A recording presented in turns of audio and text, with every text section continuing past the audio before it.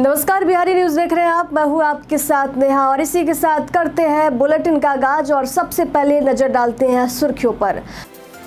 अब हाथ में टैबलेट लेकर छात्रों को पढ़ाएँगे शिक्षक। सरकारी टीचरों को कंप्यूटर भी मिलेगा। दिखेगा टैबलेट के साथ पढ़ाई का नया अंदाज।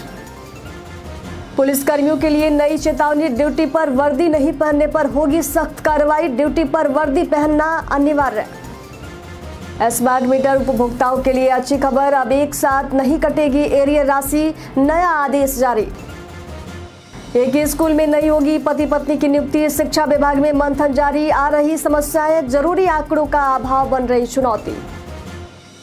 और विराट, रोहित के फ़ैन है आकाशदीप दोनों को बताया, गॉड ऑफ़ क्रिकेट, रोहित की कप्तानी की जमकर कर दी तारीफ़।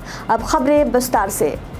बिहार के सभी सरकारी स्कूलों को टेक्नोलॉजी की दुनिया से जोड़ने की दिशा में एक बड़ा कदम उठाया जा रहा है। राज्य के शिक्षा विभाग ने प्रस्तावित किया है कि सभी सरकारी स्कूलों में एक लाख पैंसठ हज़ार टैबलेट और कंप्यूटर दिए जाएँगे।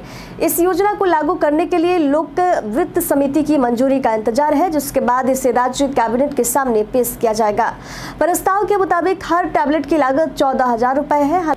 हालाँकि समग्र शिक्षा अभियान के तहत प्रति टैबलेट पर दस हज़ार रुपए की व्यवस्था है, जिससे हर टैबलेट के लिए चार हज़ार रुपए की अतिरिक्त राशि की आवश्यकता पड़ेगी, जो कुल मिलाकर लगभग सत्तर करोड़ रुपए होती है।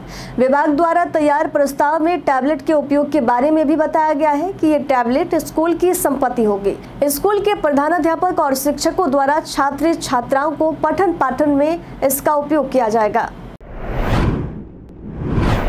बिहार में पुलिस कर्मियों की ड्यूटी के दौरान वर्दी नहीं पहनने की घटनाओं को लेकर पुलिस मुख्यालय ने सख्त निर्देश जारी किए हैं। पुलिस मुख्यालय ने सभी पुलिस अधीक्षकों को पत्र भेजकर मामले की गंभीरता को रेखांकित किया है। ड्यूटी के दौरान सादे कपड़े पहनने वाले पुलिसकर्मियों के खिलाफ अब कार्रवाई की जाएगी और इसकी जानकारी भी उच्च अधिकारियों को दी जाएगी। एसपी सिटी भागलपुर रामदास ने इस लापरवाही को चिंताजनक बताया है और कहा कि ये स्थिति किसी भी कीमत पर बर्दाश्त नहीं की जाएगी। उन्होंने पुलिसकर्मियों की पहचान शुरू कर दी है और उन्हें चेताया है कि ड्यूटी पर हमेशा वर्दी पहनना अनिवार्य है। बिहार में स्मार्ट प्रीपेड मीटर लगाने वाले बिजली उपभोक्ताओं के लिए राहत की खबर आई है। अब बकाया वसूली मासिक औसत खपत के आधार पर की जाएगी, जिससे उपभोक्ताओं को आर्थिक बोझ से कुछ राहत ज़रूर मिलेगी। South Bihar power distribution company limited ने यह निर्णय तुरंत प्रभाव से लागू कर दिया है। कंपनी अधिकारियों ने बताया कि अब तीन महीने की खपत का औसत लेकर उसके केवल पच्चीस फ़ीसदी राशि ही एक महीने में वसूली जाएगी। इससे पहले 300 दिनों के भीतर बकाया वसूली की प्रक्रिया उपभोक्ताओं के लिए बेहद कठिनाई भरी साबित हो रही थी। इस नए नियम के लागू होने से खासकर ग्रामीण इलाकों में उपभोक्ताओं को बड़ा सहारा मिलेगा, जहाँ बिजली बिलों का भारी बकाया मौजूद है। राज्य भर में कृषि विकास की दिशा में एक बड़ा कदम उठाया गया है। बिहार सरकार ने 15 अनुमंडल स्तरीय संयुक्त कृषि भवन के निर्माण का निर्णय लिया है, जिससे कृषि विभाग से संबंधित सभी कार्यालय एक ही स्थान पर संचालित किए जाएँगे। इन भवनों का निर्माण पटना ज़िले के पटना सिटी, बाढ़, दानापुर, मसौढ़ी, पालीगंज, नालंदा की राजगीर, हिलसा, भोजपुर के जगदीशपुर, पीरो रोहतास के डेहरी, बक्सर के डुमराव, कैमूर के मोहनिया और भागलपुर के कहलगांव और नौगछिया में किया जाएगा। प्रत्येक भवन के निर्माण पर नवासी दशमलव तेरह लाख रुपए खर्च होंगे। यात्रियों के लिए खुशखबरी है। पूर्व मध्य रेलवे पटना और दानापुर स्टेशनों पर जल्द ही स्लीपिंग कैप्सूल पॉड्स की सुविधा शुरू हो रही है। ये कदम यात्रियों को लेट होने वाली ट्रेनों के समय में आरामदायक अनुभव दिलाएगा। स्लीपिंग कैप्सूल पॉड एक छोटा सा कमरा है जो खास तौर पर सोने के लिए डिज़ाइन किया गया है। इन पॉड्स में phone charging, locker, internet, connection और डिलेक्स, बाथरूम जैसी आधुनिक सुविधाएँ उपलब्ध हैं। जहाँ वे आराम से अपनी थकान उतार सकेंगे, इस सुविधा को लागू करने के लिए टेंडर प्रक्रिया शुरू की जाएगी। टेंडर के माध्यम से पॉट्स के निर्माण के लिए आवश्यक मानकों को पूरा किया जाएगा। हालाँकि अभी तक ये स्पष्ट नहीं है कि ये सुविधा कब शुरू होगी, लेकिन रेलवे इस पर तेज़ी से काम कर रहा है। बिहार में शिक्षकों के तबादले के लिए नई नीति को अंतिम रूप देने की प्रक्रिया में कई समस्याएँ सामने आ रही हैं।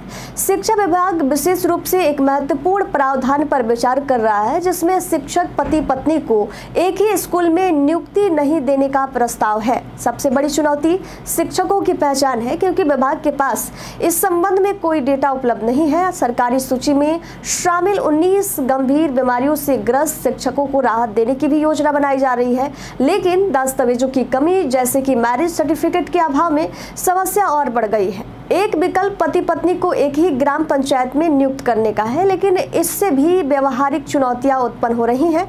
वही शिक्षा विभाग को नई तबादला नीति को अंतिम रूप देने में कई चुनौतियों का सामना करना पड़ रहा है। बिहार के कैमूर से पुलिस ने एक फर्जी दारोगा और उसके दो साथियों को गिरफ़्तार किया है। एसडीपीओ शिव शंकर कुमार के अनुसार मुख्य आरोपी त्रिलोकी चौहान उर्फ़ संजय चौहान यूपी के रामनगर का रहने वाला है। वही उसके दो साथी संदीप कुमार निषाद, जो मिर्जापुर और संजय साहनी, जो वाराणसी के रहने वाला बताया जा रहा है। बता दें, ये तीनों आरोपी स्विफ्ट डिज़ायर कार से हाटा बाज़ार पहुँचे, जहाँ एक व्यक्ति को पकड़ लिया। खुद को यूपी पुलिस का दरोगा बताकर बाईस हज़ार वसूली कर लिए और फिर बीस बीस हज़ार रुपए एक पेमेंट ऐप के ज़रिए ट्रांसफ़र करने की मांग कर दी। अब इसकी जानकारी मिलने पर चैनपुर थाने और डीआईयू की टीम ने संयुक्त रूप से कार्रवाई की और आरोपियों को गिरफ़्तार कर लिया। पुलिस ने आरोपियों के पास से चार मोबाइल, बाईस हज़ार रुपए, नगद हथकड़ी, रस्सी और अन्य सामग्री बरामद की है।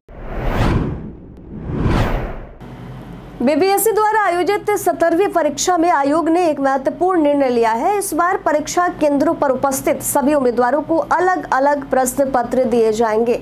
आयोग ने ए से तक विभिन्न सीटों में प्रश्न पत्र बांटने का निर्णय लिया है, जिससे नकल की संभावना कम हो जाएगी। इस बार प्रश्न पत्र का पैटर्न भी बदला गया है और आयोग ने छपाई में उच्च गुणवत्ता का ध्यान रखा है। इसके साथ ही प्रश्न पत्रों की सुरक्षा को बढ़ाने के लिए विशेष तकनीकों का उपयोग किया जाएगा। परीक्षा के दौरान प्रश्न पत्रों के परिवहन और वितरण की प्रक्रिया में भी सुधार किया गया है। आयोग ने कहा कि सभी प्रश्न पत्र सुरक्षित रूप से परीक्षा केंद्रों तक पहुँचेंगे, जिसके लिए विशेष निगरानी और सुरक्षा उपाय लागू किए गए हैं। आज विश्व गर्भ निरोधक दिवस के अवसर पर स्वास्थ्य विभाग ने सभी जिलों को पत्र भेजकर जागरूकता कार्यक्रम आयोजित करने का निर्देश दिया है। इस अभियान का उद्देश्य अनचाहे गर्भ से बचने के उपायों के बारे में लोगों को जानकारी देना है। बता दें कि गर्भ निरोधक के इस्तेमाल से मातृ मृत्यु दर में बीस से तीस फ़ीसदी तक कमी आती है और राज्य में नब्बे प्रतिशत महिलाएँ बंध्याकरण का विकल्प चुन रही है।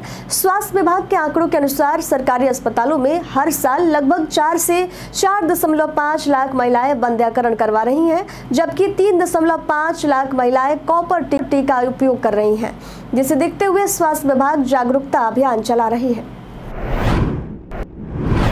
बिहार श्रम संसाधन विभाग ने राज्य के सभी कारखानों का व्यापक सर्वेक्षण करने का निर्णय लिया है। ये कदम राज्य में संचालित कारखानों की सही संख्या का पता लगाने और श्रमिकों के सुरक्षा मानकों का पालन सुनिश्चित करने के लिए उठाया गया है। बता दें कि राज्य सरकार का मानना है कि कई छोटे कारखाने ऐसे हैं जिनकी जानकारी अभी तक उपलब्ध नहीं है। इन कारखानों में अक्सर श्रमिकों के साथ अन्याय होता है और सुरक्षा मानकों की अनदेखी भी की जाती है, जिससे दुर्घटनाओं का खतरा बढ़ जाता है। सरकार ने सर्वेक्षण के तहत प्रत्येक ज़िले में एक टीम गठित करने का निर्णय लिया है। ये टीम सभी कारखानों का निरीक्षण करेगी और जो कारखाने मानकों का पालन नहीं कर रहे होंगे, उनके खिलाफ सख्त कार्रवाई करेगी। बिहार के कृषि मंत्री मंगल पांडे ने नई दिल्ली में फिक्की द्वारा आयोजित इंडिया मेज समिट के दसवें संस्करण का उद्घाटन किया इस अवसर पर। उन्होंने बताया कि बिहार मक्का उत्पादन में देश का पांचवा सबसे बड़ा राज्य है, जिसमें बिहार का योगदान लगभग ग्यारह प्रतिशत है। मंत्री ने उद्योगपतियों और संस्थानों से अपील की कि वे बिहार में मक्का आधारित उद्योग और बीज उत्पादन के लिए अपनी हिस्सेदारी को निभाएँ। उन्होंने ये भी कहा कि राज्य सरकार इस दिशा में हर संभव मदद देने के लिए तैयार है।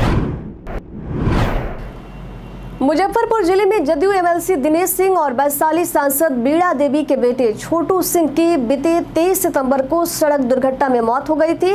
अब छोटू सिंह की मौत पर सवाल उठ रहे हैं। उनके पिता ने मृत्यु को दुर्घटना मानने से इनकार कर दिया है। एमएलसी दिनेश सिंह ने पुलिस को एक आवेदन देकर कहा है कि उनके बेटे की मौत दुर्घटना से नहीं हुई है, बल्कि साजिश के तहत हत्या की गई है। इस मामले की गहन जाँच करने की भी उन्होंने मांग की। वह इस मामले पर कांग्रेस विधायक विजेंद्र चौधरी ने सवाल उठाए। उन्होंने कहा कि घटना के पीछे की सच्चाई जानने के लिए पूरी तरह से निष्पक्ष जाँच होनी चाहिए। आरोप लग रहे हैं, पुलिस जाँच के बाद ही पता चलेगा कि सांसद बीड़ा देवी के पुत्र छोटू सिंह की मौत सड़क दुर्घटना में हुई है या हत्या किया गया है।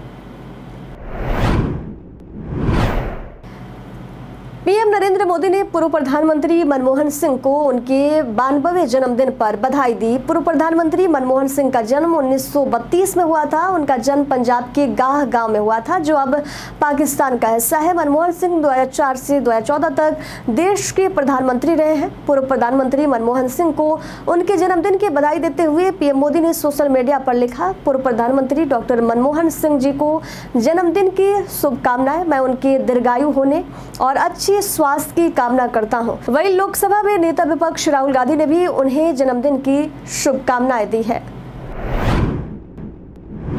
भारत और बांग्लादेश के बीच दो मैचों की टेस्ट सीरीज़ का पहला टेस्ट भारत ने दो सौ अस्सी रन से जीतकर अपने नाम किया। इस जीत के बाद अब टीम इंडिया की नज़रें कानपुर में 27 सितंबर को होने वाले दूसरे टेस्ट पर टिकी है। आकाशदीप, जिन्होंने पहले टेस्ट में शानदार प्रदर्शन किया, उन्होंने कप्तान रोहित शर्मा और पूर्व कप्तान विराट कोहली की तारीफ़ की है। आकाशदीप ने रोहित शर्मा को सपोर्टिव कप्तान बताते हुए कहा कि उनके नेतृत्व में खेलना एक अनोखा अनुभव रहा है। उन्होंने कहा कि मैंने कभी नहीं देखा कि कोई कप्तान इतनी सरलता से चीज़ों को संभाले। रोहित और विराट जैसे दिग्गज खिलाड़ियों में मेहनत और समर्पण की एक अलग ही मिसाल है। बीते दिन हमारे द्वारा पूछे गए सवाल का जवाब आप लोगों में से बहुत लोगों ने हमारे कमेंट बॉक्स सेक्शन में लिखकर दिया है, जिन्होंने हमारे द्वारा पूछे गए सवाल का जवाब दिया है। उनके नाम है रवि कुमार राम, तुलसी ऋषिदेव, आलोक प्रियदर्शी, कुश कुमार यादव, नीतीश कुमारी, सुमेर राम नारायण यादव, अमरेंद्र कुमार, रंजू अंकित सिंह, छोटू रजा, जितेंद्र ठाकुर, कुमुद, उमेश ऋषिदेव, रवि मोहन वर्मा, नेहा कुमारी, सादुल्ला पलवी दीपक कुमार, सुमन कुमार, रंजीत मिश्रा, फैजल इमाम अनवर करीम खान मोहम्मद इमरान। इसी के साथ बढ़ते आज के सवाल की ओर और, और आज का सवाल है शिक्षकों के ट्रांसफ़र पोस्टिंग नीति के तहत। पति पत्नी को एक ही स्कूल में पढ़ाने पर आपकी क्या राय है? आप अपना जवाब हमें हमारे कमेंट सेक्शन में लिखकर ज़रूर बताइएगा। आज के लिए इतना ही। बिहार के तमाम खबरों के साथ बने रहने के लिए बिहारी न्यूज़ देखते रहिए। और साथ ही अगर आप यूट्यूब चैनल पर हमें देख रहे हैं तो चैनल को सब्सक्राइब करिए। और अगर आप फेसबुक पेज पर देख रहे हैं तो लाइक और फॉलो ज़रूर कीजिएगा। धन्यवाद।